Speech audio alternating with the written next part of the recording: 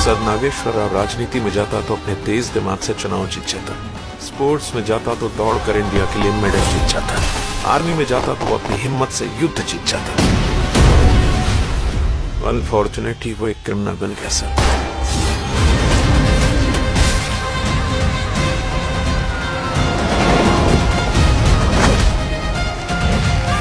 शेर बाघ जैसे जानवर भी एक उम्र तक दूध पीते हैं लेकिन उसने आठ साल में ही खून पीना शुरू कर दिया